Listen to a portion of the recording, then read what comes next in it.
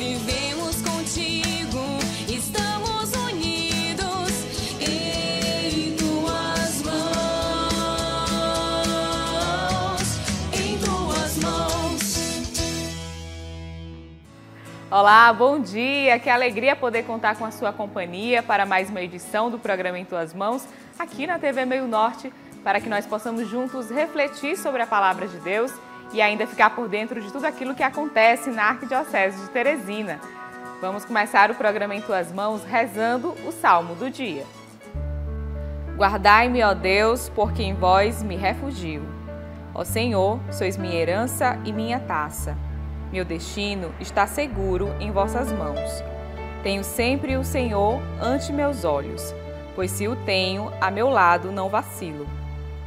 Eis porque meu coração está em festa, minha alma rejubila de alegria, e até meu corpo no repouso está tranquilo, pois não há vez de me deixar entregue à morte, nem vosso amigo conhecer a corrupção. Vós me ensinais vosso caminho para a vida. Junto a vós, felicidade sem limites, delícia eterna e alegria ao vosso lado. Com o objetivo de despertar a consciência para o grito dos pobres e sofredores, o Papa Francisco instituiu o Dia Mundial do Pobre, que este ano tem como tema Sempre Tereis Pobres entre Vós, retirado do livro de São Marcos. Vamos agora saber como vai acontecer a programação desse dia na Arquidiocese de Teresina. Hoje a Igreja celebra no mundo inteiro o Dia Mundial dos Pobres, data instituída pelo Papa Francisco. E a Arquidiocese de Teresina irá comemorar essa data no próximo dia 19, na sexta-feira. Para entendermos melhor como irá acontecer, nós vamos conversar agora com a irmã Denise Morra, ela que é da Congregação Missionárias do Sagrado Coração de Jesus. Irmã, muito obrigada por aceitar o nosso convite. Seja bem-vinda. Eu que agradeço a oportunidade de estar aqui com vocês e falando de uma temática tão atual no momento que a gente está, né? Qual o significado do Dia Mundial dos Pobres para a Igreja Católica? Então, o significado vem com o Papa Francisco, mas muito antes do Papa Francisco vem com aquilo que a Igreja prega, né? É, nós temos fortemente a opção pelos mais pobres, pelos mais carentes, e isso vem é, da misericórdia trazida por Jesus Cristo. Né? Jesus que morreu por nós e que deu a vida por nós e que sempre nos disse que pobres sempre tereis, porque é, nesta interpretação bíblica ele quer dizer que pobres sempre tereis, porque sempre ele vai estar conosco através dos pobres. Então, celebrar a misericórdia, celebrar a, a, opção pelos mais pobres, principalmente nesse momento que a sociedade mundial atravessa de empobrecimento planetário. Né?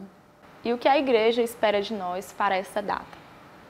Então, essa data, é, primeiro a igreja espera ações de misericórdia. Né? Dentro dessas ações de misericórdia pode ser doação de alimentos, doação de material não perecíveis, é, mas também tem outras ações. Né? Hoje a gente fala muito da questão da pobreza menstrual, vários e vários adolescentes e jovens, mulheres que não podem frequentar é, uma sala de aula, um, um, colégio, em vista de não ter dinheiro para comprar absorvente. Mas também existem outras formas. É, visitar pessoas que trabalham, por exemplo, com os acólatas anônimos, que é um trabalho fantástico no sentido de reerguer as pessoas.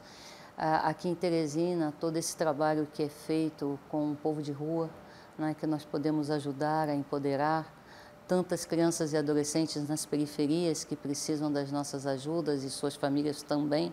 Então, falar de, desse tipo de pobreza significa é, resgatar em nós cristãos católicos a, esta opção pelos mais necessitados, mas muito mais do que isso, a misericórdia, né? fazer com que o nosso coração se abra e se coloque a serviço dos mais necessitados.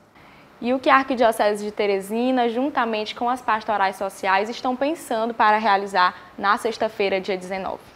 Então, embora é, o dia seja o dia 14, né, hoje, que tem com esse tema é, Sempre tereis entre vós pobres e chama a gente para sentir compaixão, nós aqui na Arquidiocese escolhemos o dia 19, né, é, na sexta-feira agora, onde nós estaremos ali no canteiro central da Frei Serafim às 8 horas da manhã, promovendo um café da manhã para as pessoas de rua.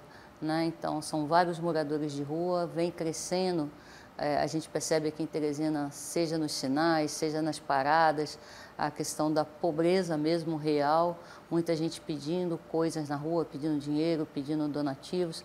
E nós esperamos que a população que passe é, na Frei Serafim, ali perto da, da Arquidiocese, né?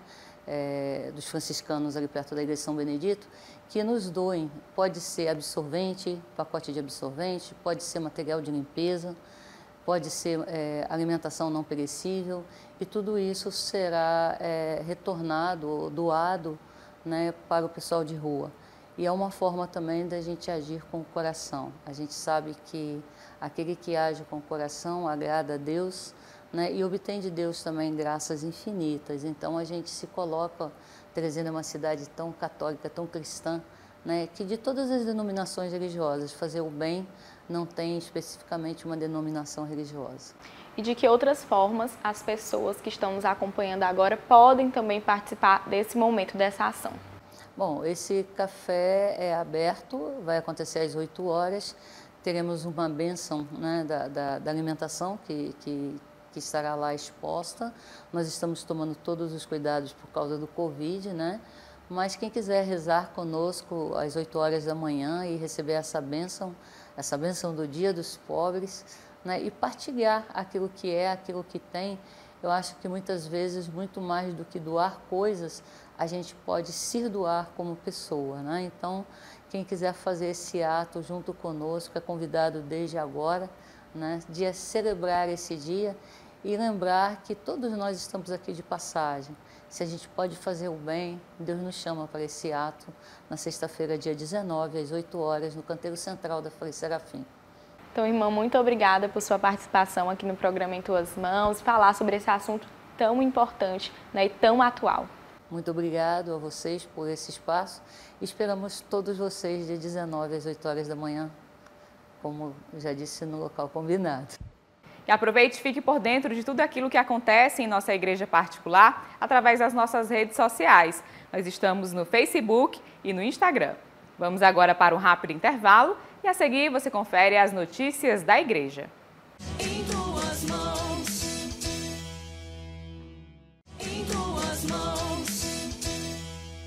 A última semana foi marcada por muitos eventos na Arquidiocese de Teresina. Os detalhes você confere agora no quadro Notícias da Igreja.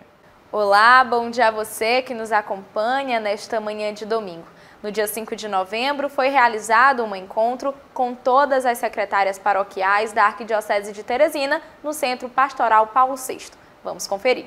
Com o tema Espiritualidade e Serviço do Secretário Paroquial, a formação contou com 70 participantes que vivenciaram momentos de aprendizagem e espiritualidade, tendo o arcebispo de Teresina como um dos palestrantes. Dom Jacinto Brito discursa sobre a relevância desse trabalho prestado para a igreja. Quero dizer que nós somos muito gratos a essas pessoas porque elas fazem um trabalho fundamental em nossas paróquias. Elas são cartão de visita, elas são a porta de entrada e eu falei a elas que a acolhida que elas dão às pessoas é o primeiro sinal verde para que os que chegam se sintam bem e possam então realizar aquilo que eles desejam e que precisam na vida paroquial. Eu disse a elas também, a eles, que são uma vitrine. Muita gente só vai ver a paróquia através deles. Então, quanto mais bonita for a vitrine, mais chamativa será a entrada para a loja. E concluí com eles dizendo a dimensão do serviço. A igreja existe para servir a humanidade. E o papel do secretário é um serviço técnico, mas não só.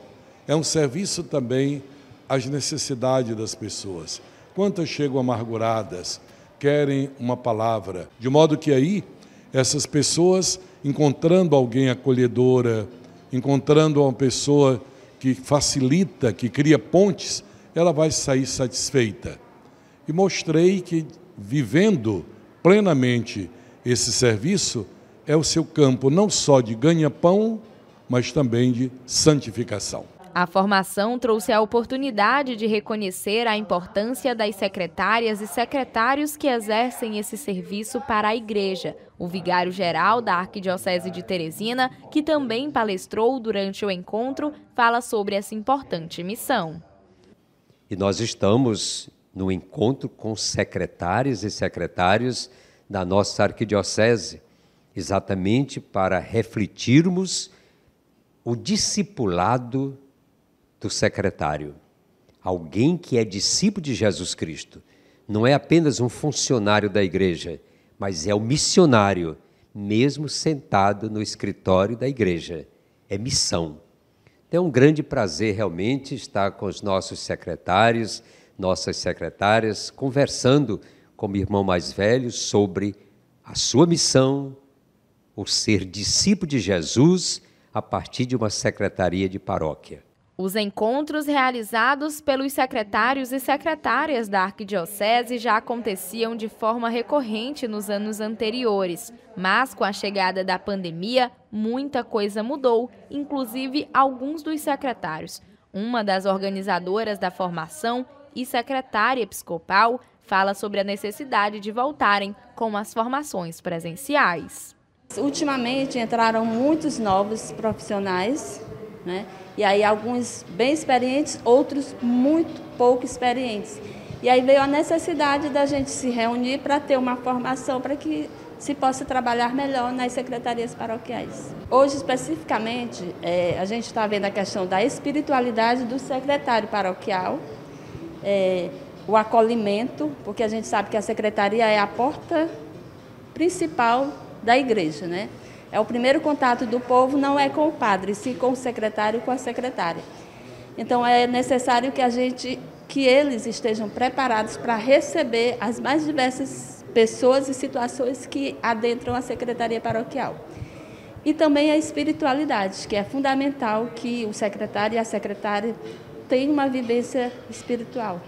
Wellington, que há sete anos é secretário paroquial da paróquia Nossa Senhora do Perpétuo Socorro, na Forania Norte 1, fala sobre a importância que essas formações têm para o melhor desempenho dele nesse serviço. Nós, como secretários paroquiais, além da competência técnica de saber mexer, por exemplo, com o computador, nós precisamos também ter o acolhimento acolhimento do paroquiano, de uma pessoa que vai procurar um batizado e saber se relacionar com o paroquiano. Né? Eu acho que esse momento ele se torna importante justamente para ir, porque além da gente trabalhar profissionalmente na secretaria, nós somos a igreja e a igreja ela precisa ter esse ensinamento e a pedagogia de Jesus. E a cada formação que a gente vem acompanhando aqui na Curia Arquidiocesana é um aprendizado diferente seja ele por conhecer novas secretárias, novos secretários, mas é aquele aprendizado que a gente sempre aprende um pouco mais. E é durante essas formações que eles aprendem não só com os temas abordados em cada encontro, pois trocam entre si experiências e aprendizados do dia a dia, fazendo com que o trabalho administrativo e espiritual seja realizado da melhor forma. Nos dias 5, 6 e 7 de novembro, o Conselho Missionário Diocesano, Comide, realizou uma formação missionária chamada Curso de Multiplicadores de Comipa, no auditório do Centro Pastoral Paulo VI.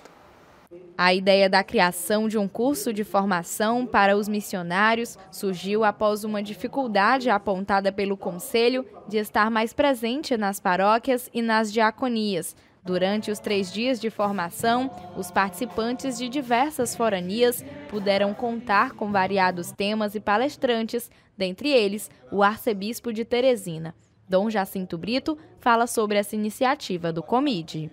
Pela primeira vez desde que eu estou aqui, eu vejo a nossa comissão diocesana missionária se preocupar em dar um estímulo concreto e uma formação mais adequada para aqueles que nas paróquias devem ser como que os referenciais, aqueles que lembram, aqueles que promovem, aqueles que articulam a ação missionária. Porque como eu disse a eles hoje pela manhã, a missão não é uma pastoral a mais. A missão é uma dimensão da vida cristã de alto significado que permeia toda a ação evangelizadora da igreja.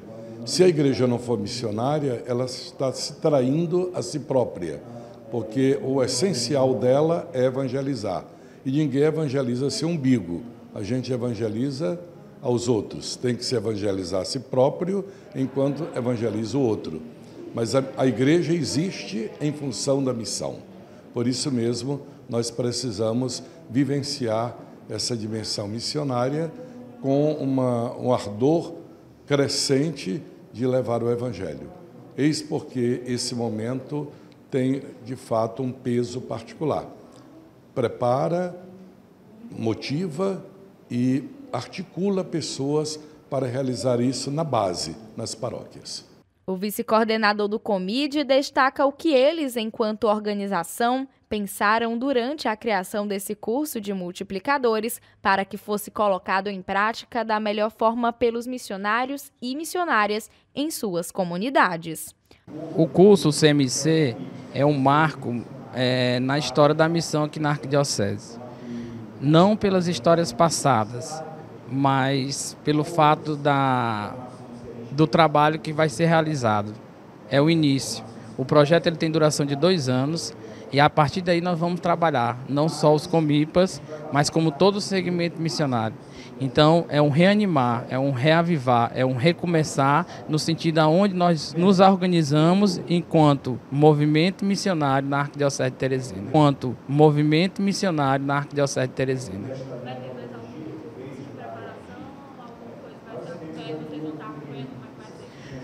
Depois do curso, a gente vai fazer os encontros de comipa a nível de forania. Esses que foram formados nesse curso vão ser os multiplicadores. Então, eles vão estar trabalhando a nível de arquidiocese, nas foranias, diretamente nas paróquias. E sempre, de dois em dois meses, nós vamos estar fazendo os encontros nas foranias, onde vamos agregar todos, ouvir a realidade, conhecer e continuar o trabalho missionário. Agora, nós lançamos a semente, vamos enriquecer, aguar para que essa árvore missionária cresça e dê bastante fruto em todo o território da Arquidiocese de Teresina. Estamos muito felizes em estar é, colaborando nessa missão tão bonita que é o CMC, que é o curso de multiplicadores para a Comipa. Um dos palestrantes do curso de multiplicadores fala sobre a importância dessa capacitação para todos os missionários arquidiocesanos. Na verdade, a importância dessa capacitação é trabalhar né, os leigos, né, que são é, é, a raiz de todo o trabalho missionário da igreja, né, em fortalecer e animar ainda mais a questão da missão dentro da paróquia. Né. O nosso tema trabalhado aqui, né, como Comipa, né, como Conselho Missionário Paroquial, envolver o quê? Não só um grupo, mas envolver toda a paróquia nesse trabalho de animação missionária. Apesar do trabalho que os grupos fazem separados, mas na realidade o intuito aqui é que os grupos trabalhem unidos. Né? Como a gente enfatizou muito, bateu muito nessa tecla, trabalhar a unidade dentro da igreja. Porque a igreja trabalhando unida, ela se torna assim, um ponto de referência muito grande. A missão, ela envolve, a missão chama, ela convida. Então, trabalhando a unidade da igreja dessa forma, a igreja só tem a ganhar. Além né, nós, que somos cristãos batizados, né, temos esse dever, temos essa missão. Na intenção de desempenhar um papel melhor como missionário em sua comunidade, Renato, que veio de outra cidade para participar do curso, conta como se sente em vivenciar esse momento de muito aprendizado. Esse curso ele chegou para mim através da minha paróquia, do padre da minha paróquia, e eu já venho participando já há algum tempo, faço parte da minha igreja, e isso me trouxe uma, uma alegria de estar participando, de estar buscando fundamentos para que eu possa continuar a minha missão dentro da minha igreja na minha cidade. E partilhar com as pessoas que estão lá, que estão sedentas também dessas informações, que eles sempre querem aprender, eles sempre incentivam a gente a aprender e tornar-se multiplicador também. Miriam, que veio da cidade de Valença, do Piauí, para vivenciar os três dias de curso, é muito assídua em sua paróquia, atuando em diversas pastorais. Ela revela o que a motivou em participar dessa formação. Foi esse chamado do, do próprio Comide de que nós precisamos avançar na evangelização, né? porque para nós sermos essa igreja em saída que o Papa Francisco tanto proclama, nós precisamos nos capacitar, nos formar e precisamos nos, nos organizar, né? nesse sentido de, de ser missionário. E essa oportunidade que o Comid está nos oferecendo para estruturar os comipas nas nossas paróquias é essencial. Essa formação vem, vem mostrar para nós que comipa não é uma nova pastoral, mas é uma forma de fazer a inserção de todas as pastorais e movimentos da igreja, trazendo a unidade para a evangelização. E é a partir dessa formação que se dá o fortalecimento desses missionários que, com mais facilidade, permanecerão com ânimo e fervor na vocação missionária.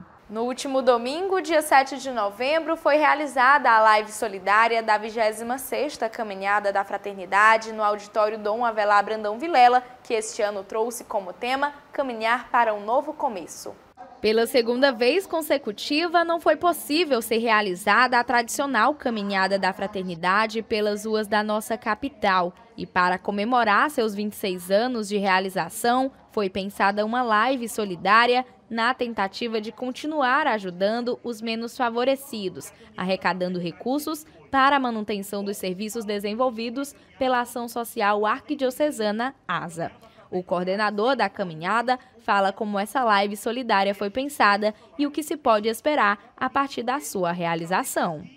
Essa live ela, ela foi pensada para despertar a solidariedade das pessoas, a fraternidade do nosso povo, né?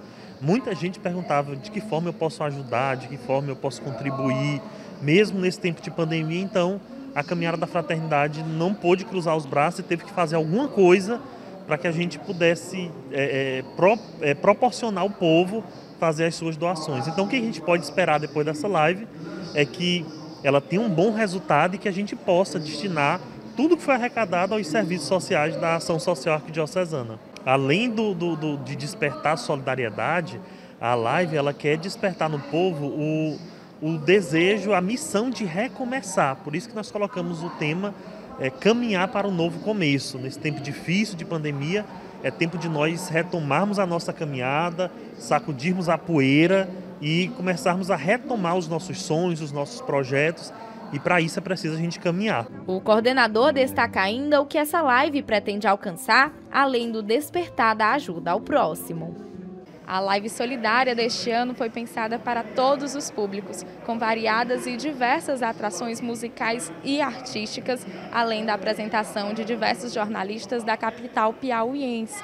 Foi montado também uma grande estrutura com diversos equipamentos para que fosse realizada uma boa transmissão. A gente está com mais de quatro, cinco meses já com reunião com o padre, é, vendo a questão de data, de horário, de local. Então, assim, a gente já vem já fazendo vários encontros, é, também pensando nas atrações, que estaria disponível, como era que seria esse formato, que a gente pensou esse ano, mais uma live show, com mais espetáculo, colocando vários tipos de músicas, colocando dança. Então, é, foi, foi diferente dos outros formatos que nós já fizemos. Nós, é, geralmente, a gente fazia com uma banda fixa, agora a gente colocou a banda base e, e várias atrações, desde criança até os adultos. Da live participaram os artistas João Lucas Veras, Isa Luz, Gonzaga Lu, Flávio Moura, Anderson Rodrigues, a Orquestra Sanfônica de Teresina e a apresentação teatral do Corpo de Baile do Teatro do Boi.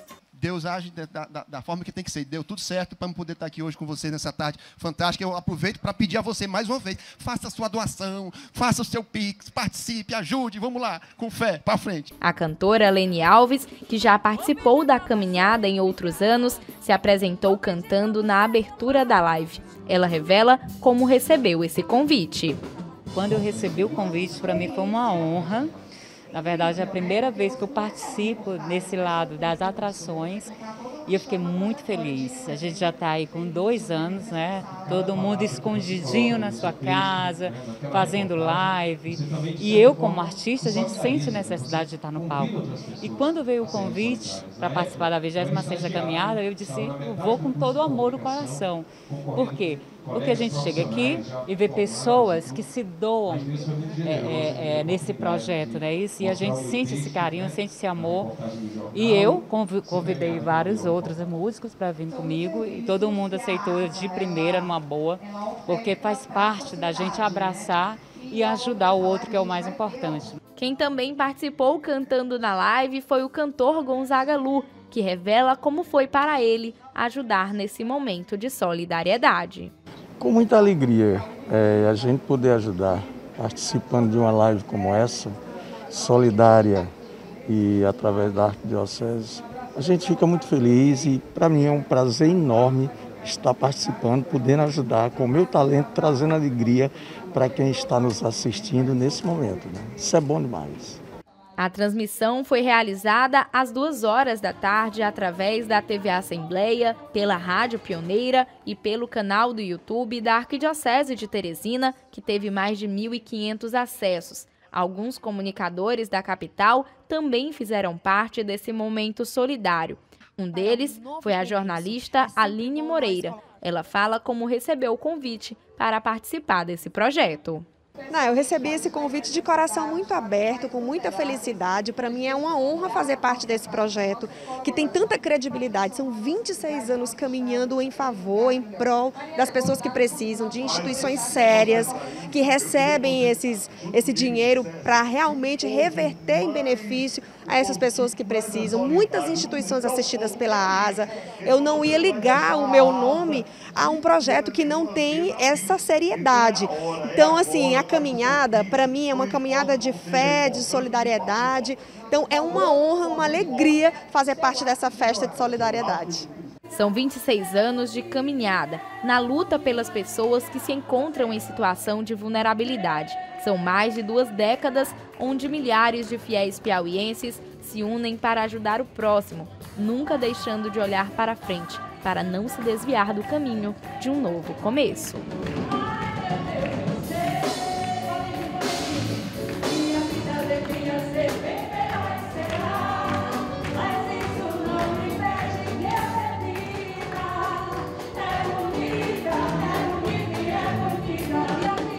A Ação Social Arquidiocesana de Teresina, ASA, realizou nos dias 10 e 11 de novembro o seminário Florada dos IPs, Prevenção e Enfrentamento às Violações de Direitos de Crianças e Adolescentes. A programação começou às 8 horas da manhã na terça-feira, com uma acolhida realizada pelo grupo musical Novos Meninos. O evento tem o objetivo de gerar discussões que estimulem uma maior compreensão sobre o fluxo e o encaminhamento de casos de violações de direitos, promovendo a proteção das crianças e adolescentes no município de Teresina.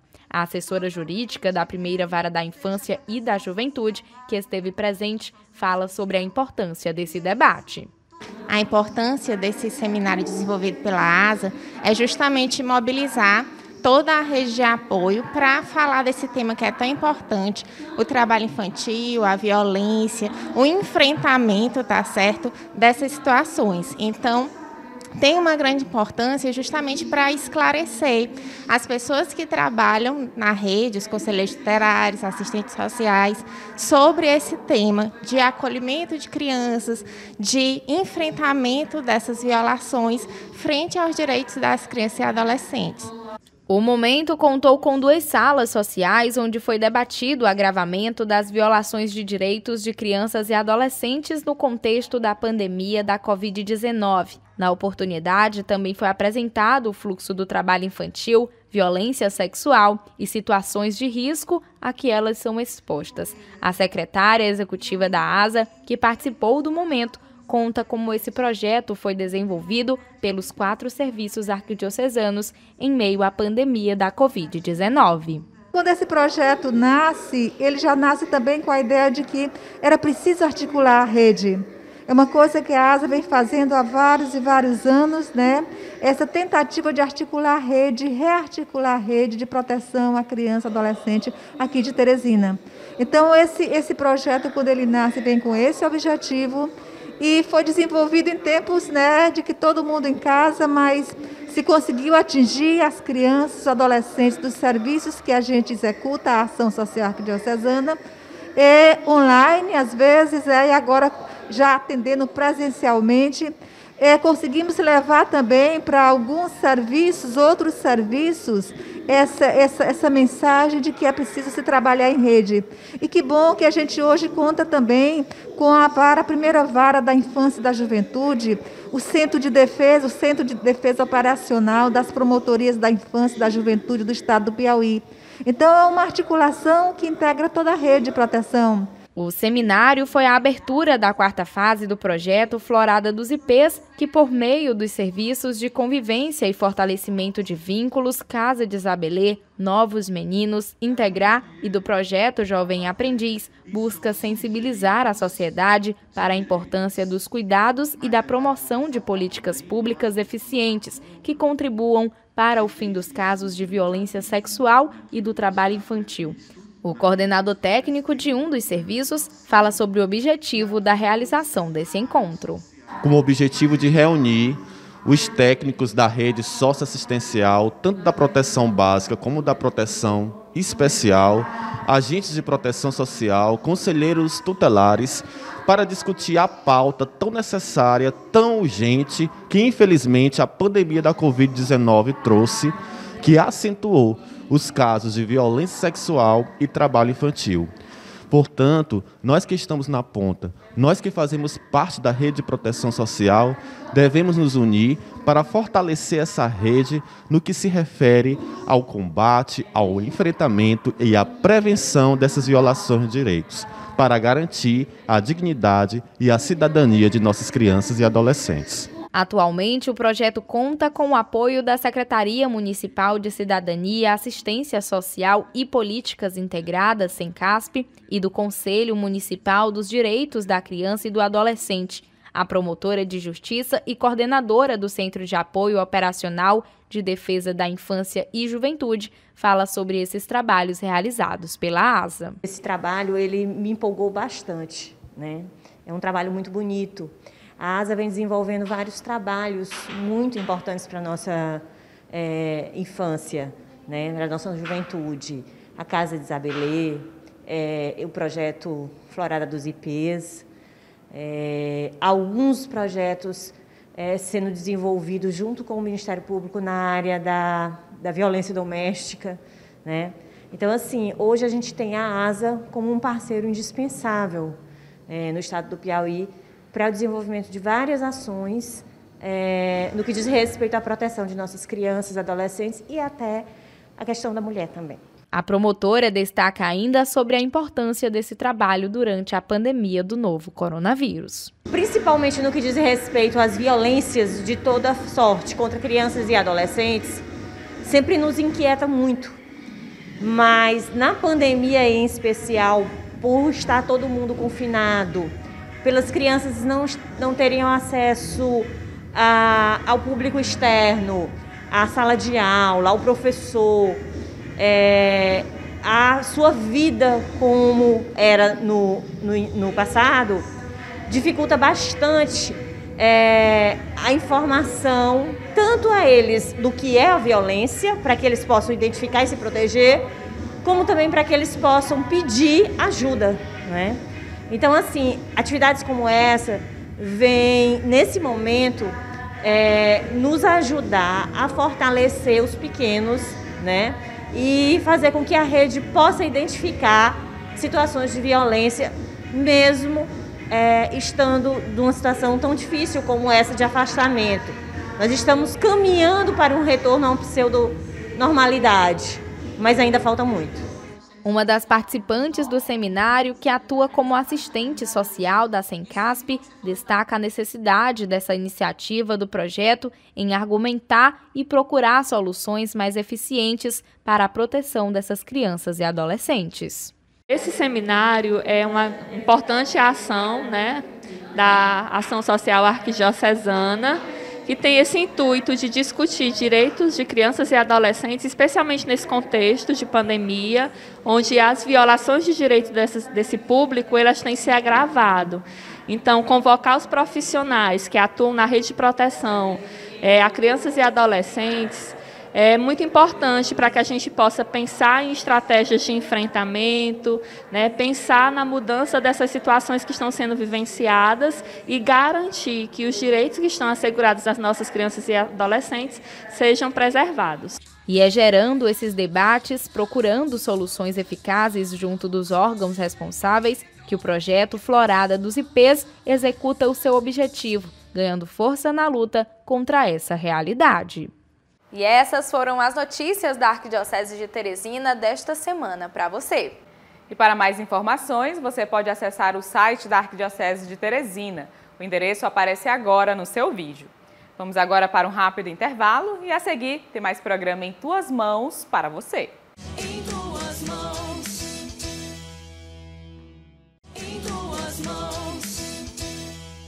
Confira agora os principais destaques das dioceses que fazem parte do Regional Nordeste 4, no quadro Boletim do Regional.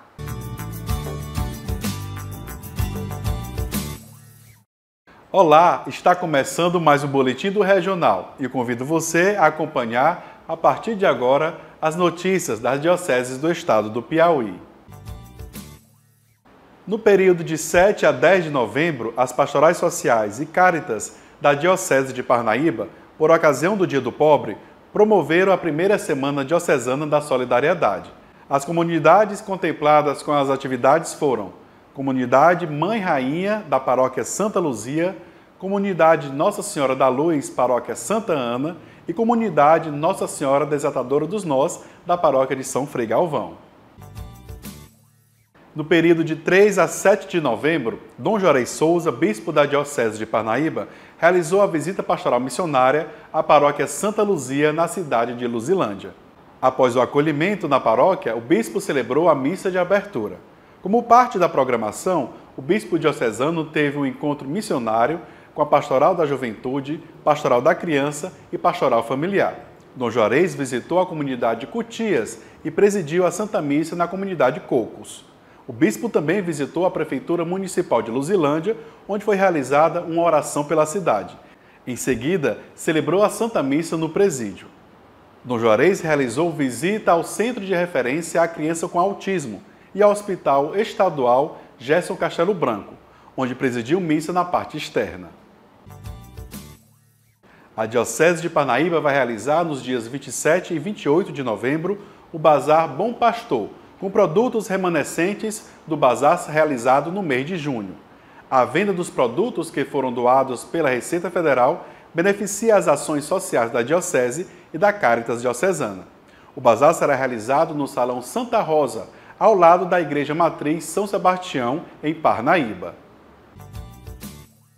Com alegria, a Diocese de Parnaíba convida todo o povo de Deus para a solene celebração eucarística, na qual serão ordenados diáconos os seminaristas Antônio Bruno, Bernardo Afonso, Gleison Menezes, José de Arimatea e José Irã.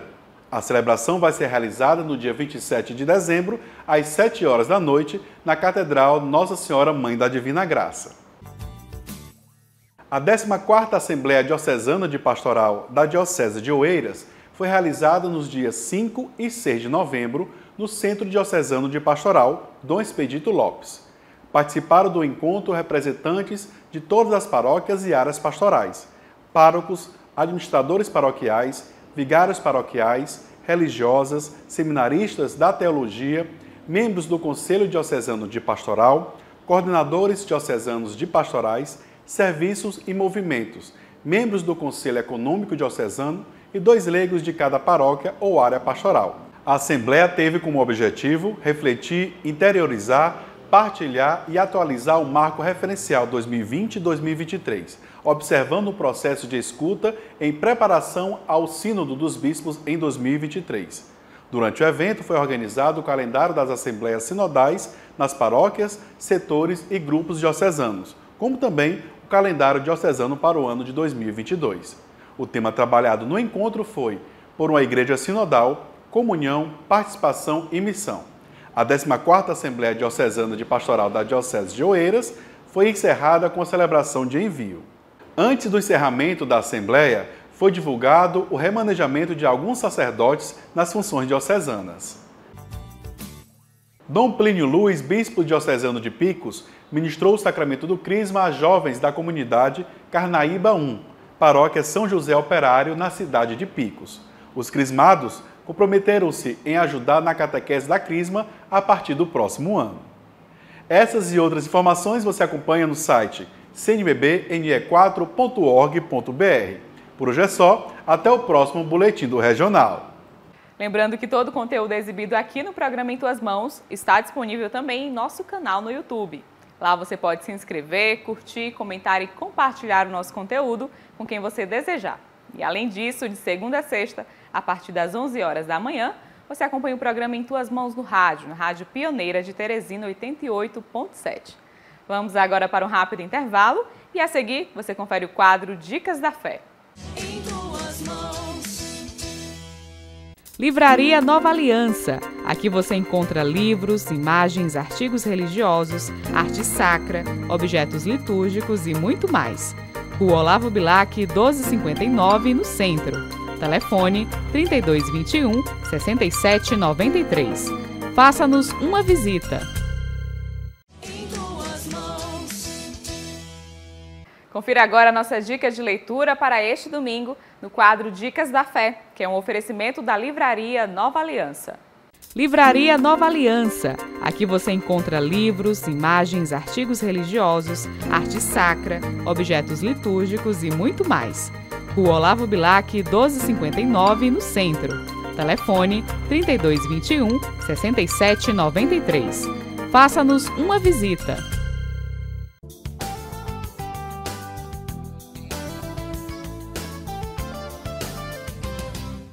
E a nossa dica da fé deste domingo para você é o livro Cartas e Máximas Espirituais de Santo Afonso Rodrigues, do autor Irmão Marcos Epifânio. A obra conta com cartas publicadas que refletem a vida religiosa e espiritual do Santo Irmão Afonso, bem como seu espírito missionário, seu modo consolador de almas aflitas e sua devoção a Nossa Senhora Mãe de Deus, escritas para familiares, sacerdotes, religiosos e outras pessoas da cidade onde ele viveu. Essas missivas são edificantes e, em geral, bastante longas, fundamentadas na espiritualidade naciana ou bíblica. E essa foi a nossa dica da fé de hoje para você. Aproveite e já garanta o seu livro. E hoje, no nosso quadro Artista da Fé, vamos conhecer o grupo Mensageiros da Alegria, que evangeliza há nove anos através da música. A banda Mensageiros da Alegria nasceu da vontade de evangelizar através da música, tendo sua criação a partir de uma equipe de liturgia da comunidade Santa Luzia, vinculada à paróquia Nossa Senhora das Graças. O grupo, que contém nove integrantes, tem como objetivo principal a animação missionária, principalmente nas comunidades mais carentes. Josélia, uma das vocalistas da banda, fala mais detalhadamente de como se deu o surgimento desse grupo.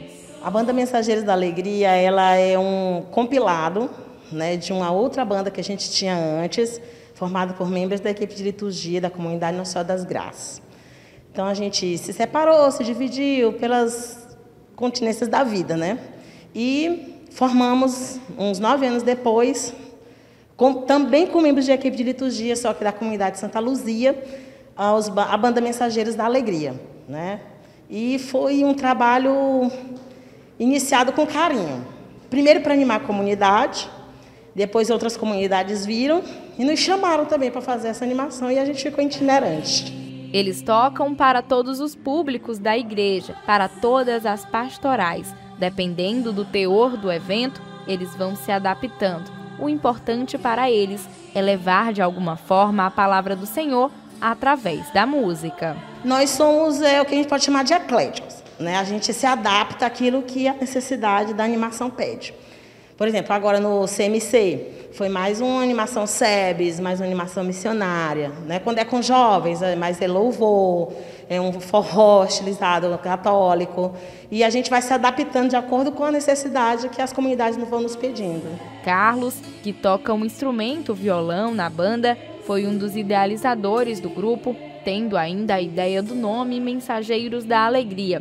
Ele conta o porquê dessa escolha. Acho que desde o início a gente já tinha essa alegria e a gente já levava a mensagem, a gente só juntou, né? Era sempre a nossa turma foi muito alegre, muito assim, onde chega fazia barulho, né? Então a gente só combinou o nome, o nome surgiu assim naturalmente, né? Levar a missão, né, com alegria. Ele desde cedo tinha curiosidade de aprender a tocar instrumentos, chegando a pegar alguns do seu pai na tentativa de aprender sozinho. E aos 15 anos, ele começou a trabalhar profissionalmente nesse ramo. Mas o seu serviço na igreja só começou através do convite de um padre. A igreja foi um convite de um padre, o padre Vitorino, né, que inclusive já faleceu, né? E ele veio, disse, você toca na noite, então você consegue tocar na igreja também. E aí nesse período aqui eram 12 comunidades, só tinha eu. Então todo dia praticamente eu tinha que tocar na missa. E aí foi surgindo, fomos trazendo as, os jovens, porque a gente sabe que a música atrai o jovem, né? O jovem gosta muito de música. E a gente aproveitou para formar, a gente teve equipes aqui quase 20 pessoas de liturgias, né? E aí vai surgindo, foi surgindo o trabalho e a gente sentiu a necessidade de sair, né? Não dava mais para ficar só dentro da comunidade, por isso surgiu a questão da missão dos mensageiros. A banda não visa nenhum fim lucrativo. É um serviço de doação, de entrega, sempre na busca pela evangelização. A vocalista Josélia revela como é o serviço prestado por eles para quem deseja contratá-los. Pessoal vê, se agrada, vai no Instagram, pergunta, a gente quer levar vocês para a nossa comunidade, para o nosso evento, para o nosso festejo. A gente não cobra nenhum, é, nenhum tipo de ajuda financeira. A gente só pede o transporte, né, alimentação, se for precisar ficar para ir no outro dia, né, uma estadia.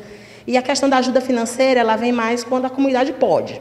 Né? Quando ela pode nos ofertar, a gente recebe para a manutenção dos instrumentos. É assim que a gente trabalha. Naira, também vocalista da banda, foi incentivada desde pequena pela família a desenvolver o dom do canto. Porém, cantava outro estilo musical. Mas ao decorrer de sua vida, através de um convite, ela começou a cantar para o Senhor. Ela revela como foi o começo dessa missão.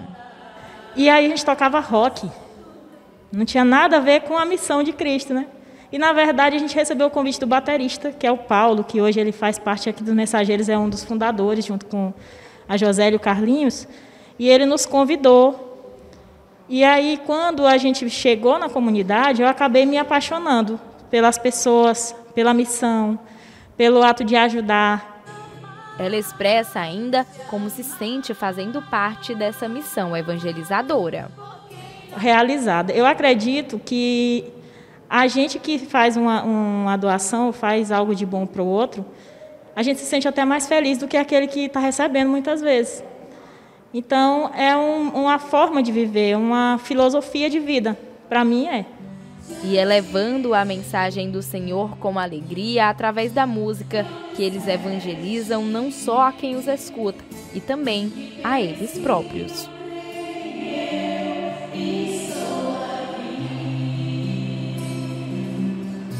Confira agora a mensagem de Dom Jacinto Brito no quadro Palavra do Pastor para este domingo.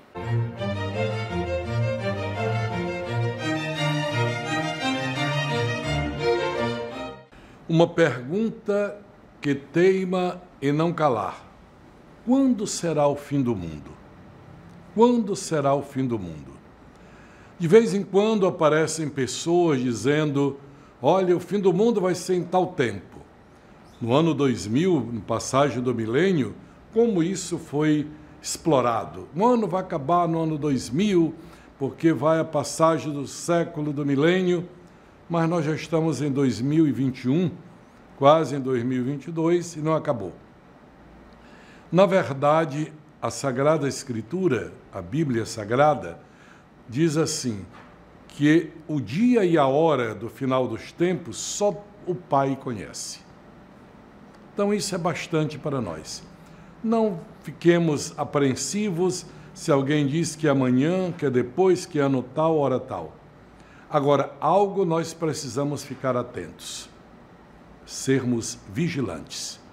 Esse é o conselho de Jesus. Não é ter medo do fim do mundo, não é ficar olhando para uma catástrofe como a pandemia, que infelizmente ainda está graçando em nosso meio, mesmo moderada, para dizer: olha, está vendo, isso aqui é o fim do mundo. Meu padrinho Padre Cício já falava disso, etc., que, fim, que isso ia acontecer no fim dos tempos nós não precisamos ficar amedrontados. Mas, repito, precisamos usar a vigilância. Olha o quadro que está ao fundo.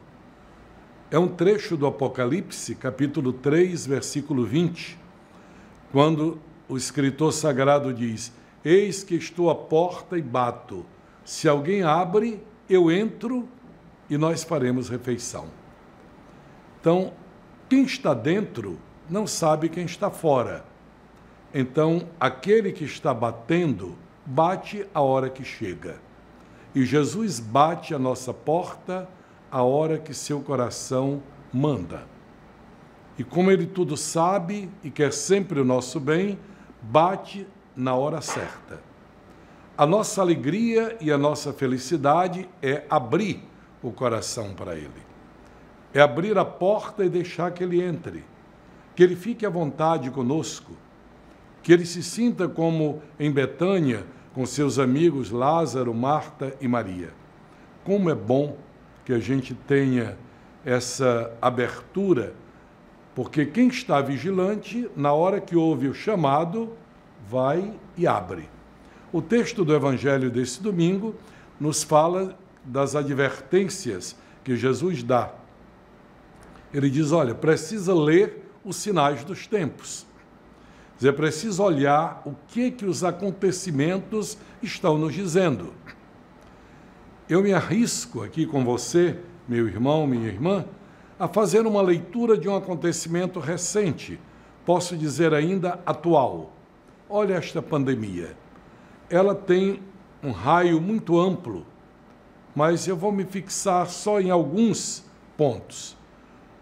O que como é, qual é a leitura que nós fazemos da pandemia do coronavírus? Nós podemos fazer a leitura de que o homem não é tão onipotente, que a ciência não é tão toda poderosa como parecia até antes. Bastava dizer que era científico, tudo estava resolvido. A crença religiosa, para muita gente, de nada vale. Mas se qualquer cientista do mundo que ainda nem foi comprovado nada, disser uma coisa, não, isto é científico. Aí já é um dogma. Os dogmas da nossa fé não é para serem levados em consideração, segundo muitas pessoas. Mas os dogmas científicos, sim, venha de quem vier. Pois bem, a ciência foi posta de joelhos para olhar este vírus, analisá-lo, algo novo, procurando soluções. Não é que a igreja seja contra a ciência, pelo contrário, o Santo Padre estava todo o tempo rezando com a igreja inteira, pelos cientistas, pelos pesquisadores, estimulando, foi um dos primeiros a tomar a vacina, exatamente para mostrar que Deus nos dá a mão através da ciência, mas a verdadeira ciência, que é busca, pesquisa para melhorar e defender a vida.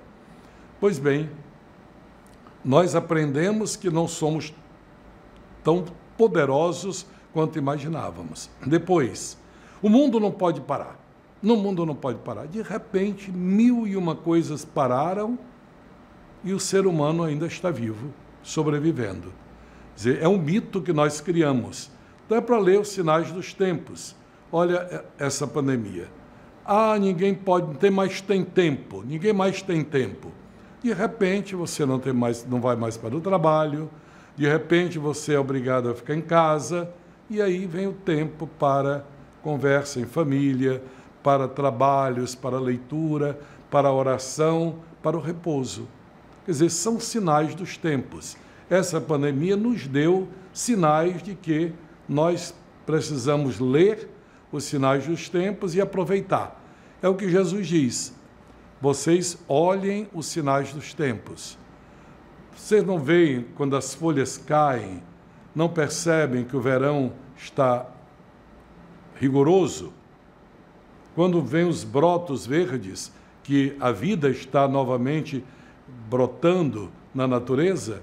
Pois bem, assim ele diz: quem lê os sinais dos tempos na natureza, aprenda a ler também os sinais dos tempos para a sua vida. Então, a grande lição da vigilância é a que fica para nós. Não nos interessa tanto saber o dia em que será o fim do mundo. Nos interessa saber que estamos preparados para que, quando ele chegar e bater a porta, nós abramos e possamos fazer refeição com ele.